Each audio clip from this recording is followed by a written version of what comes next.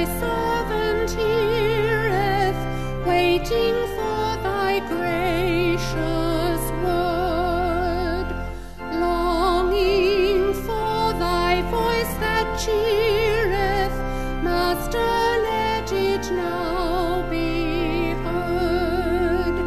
I am listening, Lord, for thee.